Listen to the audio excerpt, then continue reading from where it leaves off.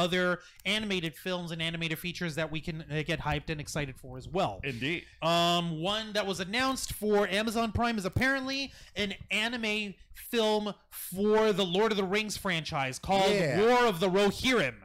Uh, I don't have all the details as they pull that up for me. Oh, But okay. basically, if you know the Lord of the Rings trilogy, the Rohirrim are the horse lords of the Kingdom of Rohan. Those are the Vikings with beautiful blonde-haired Karl Urban. Uh, he's right up there with like Man Crush with Ryan Reynolds. Huh. Like, because damn it, Jim, he's a he's a Because horse he's lord, not a doctor, not the law. Because he's behold also the- points at a bunch of women. My stuff. My stuff. he's cursed. So Karl Urban is is u- almost equally ubiquitous, but he's but he's got plenty of style. I hope that if they're gonna go with that route, that if his character shows up again, that they- they at least have him voice it. That'd be neat. That'd be neat. Um, but Joseph, yes, please pull up. I will pull look it up. The, Give me just a second. The here. War of the Rohirrim. Hang on, hang on. Wait, what's that What guy with is the red X? Joe, just pull up the article from the message you I sent. did. I couldn't. Pull, I couldn't pull it up on. There my we go. Pull it up from Polygon. There Those we fucking go. thieves. Warner Brothers revives The Lord of the Rings with animated movie War of the Rohirrim. Uh, director Kenji Kamiyama, who was involved with Kenji Go- Kamiyama. Who's oh involved shit! with He Ghost did in Ghost the in the Shell Shell? standalone complex. Yep. No What the shit. fuck? Oh, Oh. okay. Now, oh, at first you had my You interest. interest. Now you have my curiosity. attention. Yes, the director will direct War of the Rohirrim, a feature-length animated movie set in the world of the Lord of the Rings. This is gonna be CG or traditionally animated. I don't sure. know, but I'm hype now. A joint project between Warner Brothers Animation and New Line Cinema, The Lord of the Rings, The War of the Rohirrim, is being fast-tracked for the big screen with plans for global distribution by Warner Brothers Pictures. Complete global saturation. The movie will tell the untold story behind the fortress of Helm's Deep, according to a news release. Delving That's in- where that's where they had the big fight in Lord of the Rings: The Two Towers, folks. delving into the life and blood-soaked times of one of Middle Earth's most legendary figures, the mighty king of Rohan, So we're going Helm prequels. Hammerhand. Okay, first off, that name is fucking metal. Second, so we're going for prequel and build up on the world in this one. Exactly. I'm down. Okay. Because that way it doesn't get in the way of the current canon. Yep. One, one thing that I am gonna appreciate is how badass the the characters of Rohan are. Even the king, King Theoden, when he they're cornered and in like the the innermost fortress uh, fortress of like. We don't have any choice. We don't have any option. Uh, we got to help protect the people trying to get away. The only thing we could do is charge forward, balls to the wall, and just fucking ram these guys out of our way as best as possible. Yeah. But the speech he gives is fucking beautiful. Uh, tell me if you got it with me. And just as the Uruk-hai, the orcs are knocking down the door. Actually, you narrate it because I'll butcher it. Go on. fell deeds awake. Now for wrath. Now for uh, ruin. And a red dawn. Forth hailing us! and this fucking cavalcade of horse motherfuckers barge out like, oh, you want to knock on our door? Here you go. Boom, motherfucker! Watch out, the first step is a little steep.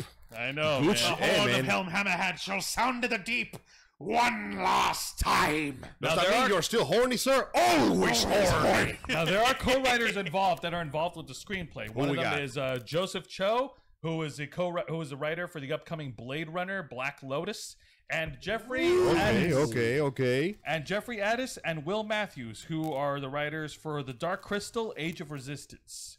Oh, okay, that's not bad. Okay. The Dark Crystal Age of Resistance. The Dark Crystal, once again, I will never not be mad that he got fucking shafted. Yep.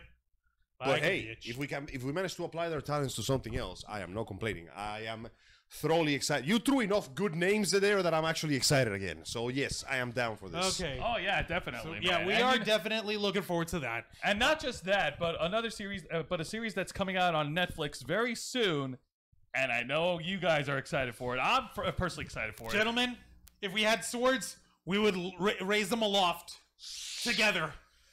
By the, the power, power of Grayskull, I have the power! So yes, The masters of the universe. Masters of the universe. after 40 years since the ending of the original series, a 2011 reboot, and a She-Ra remake of questionable quality, we have some- Questionable. Excuse me. You're right. It was just shit. No, it was great. It was- Get it right. No, no, you know what it was? It was fine. Yeah, you keep saying that.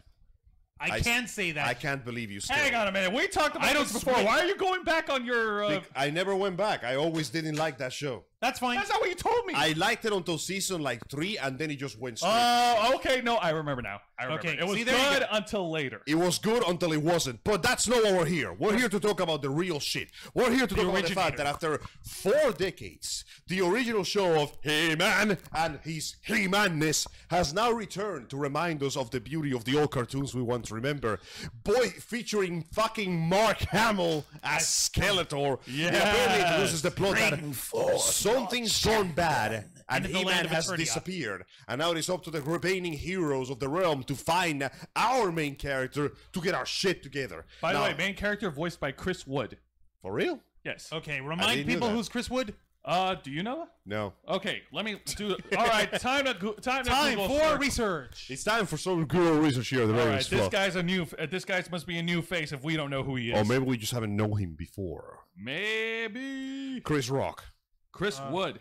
He's an American actor. Here we go. Let's see what Okay, uh, Chris Wait, Wood is best known for. Okay, so those of you who like um, uh, who like uh, CW dramas, he uh, was on the uh, the series of Vampire Diaries on CW, and also appeared in the Carrie Diaries. In, in the role of the of uh, the character writer Adam Weaver back in 2013. So most of his work is in live action roles Oh. so far. What's okay? One thing that I will give the guy kudos for: his spouse, Melissa Benoist, aka Supergirl. Wow, nice job. Nice, no, dude. Nice job. Nice. Okay. No, I'm saying nice without the thumbs up because the actual show itself is garbage. Oh! Which is a shame. Oh. Which is a shame because the actress is giving her best. But I swear to God, man. All right. Okay, so, she al- did a good job. She did a very fine Supergirl. along with Chris Wood and Mark Hamill, we actually have a very good powerhouse. Including- cast. we've got Lena. Uh, I'm gonna butcher this name. Lena Headey. Lena Headey, who's voicing Evil Lynn. She was the queen of uh, Sparta uh, of, of Yeah. 300. 300. Yep. They got Harley Quinn Smith, who voices Who's- Ilena. Uh, that that would be Kevin Smith's daughter. Huh, cool. Uh, which, by the way, he's the one who's executive producing. So yes, Silent Bob has given us a reason to cry manly tears really close to a camera. We Good also job, got- Bob. We Good also on have you. other uh, voices part of the cast: uh, Sarah Michelle Gellar, Justin Long. Alicia Silverstone. oh shit. Dude, just you cannot bring Mark Hamill back without apparently bringing back Kevin Conroy. Kevin Conroy as is even- Merman. I was expecting him to be Man of Arms, but I can work with Merman. And we got Phil LaMarr but wait, as Hero. isn't Merman one of the bad guys too? Uh, Maybe. yeah. Oh and shit. Phil LaMarr as Hero on this bitch. Uh, wait, hold on. I gotta find out who else. Man, hold we on. are getting all the cool people. We got. here. Let's see. Where Kevin Michael Richardson as Beast Man. Oh shit! It's my boy. Oh, uh, okay. Legendary uh, voice actress Cree Summer as the priestess here. nice. Okay, I gotta yeah, I could see her as the priestess. Liam Cunningham as Man at Arms. Uh, Henley Rollins as Triclops. Henry Rollins. oh shit! Isn't he the guy that uh, that went dune buggying with the jackass Yes. dudes while Yes. they got a tattoo? Off-road tattoo. So it looks like we had a. Designed bu- to fuck you up. Yep. So we got Uh, a hold bunch on. of pretty good names, some fantastic looking Elena, animation, yep, as beautiful Evil Lynn. music, and He-Man with a cape. So I am. Uh, Okay. I don't want got to. I don't want to let my optimism blind me because there is still ways this can go horribly wrong. It but, could. but nonetheless, I want. Wow, my hand looks fucking massive from this angle. We've got this over here at our nice wide angle lens over here. But nonetheless, I truly, wholeheartedly want to believe that Kevin Smith is doing a good job to not let us down, and that we can recall the beauty. And I know I'm asking for too much, but I just want one thing: What What's that? I want violence. Oh, you're gonna have The original more- show didn't get away with too many things because Hanna Barbera, etc., etc. But we ain't go held down by that anymore. I want to see motherfuckers get decapitated. I want to see He-Man doing Devil May Cry combos on motherfuckers. I want smoking, sexy style action. We might Well, get that. we might get that. It depends sure. on what the rating is going to be. Make it R. It ain't gonna be ours. It's gonna be By like the fucking power of fucking Grayskull. Angel. I have the motherfucking power. Wow. In, in case that, in case the point hasn't been driven home, folks, he is a fan of ultra violence and blood and gore. Well, to be fair though, as a child, I did in fact really, really like He-Man. It was fun. Oh, there's nothing wrong with that. Uh, like Most it- powerful man in the universe. Punch the screen. man. That was good shit. So, but folks, we want to know what you think. Are you excited about these two new animated features uh, series coming out over here? The War of the Road, Yeah. and Masters of the Universe. You saw us getting hyped over here. Let us know in the comments below. Let us know what you think. Uh, like, like I said, originally I wasn't like all too like impressed with. Oh, they're coming out with a like a thing in Amazon for a Lord of the Rings anime. Oh, boy, But here you we go gave me again. the production people. You gave me the fucking pl- uh, plot on there, but you, and I'm like, okay, I'm convinced. You know- I'm actually excited over this. Gentlemen, you're welcome. Thank you. Thank you. That being said, though, Hold I. I gotta admit, I'm a little sad that we reached the point that we cannot trust entertainment anymore unless we know that we have reliable names behind it.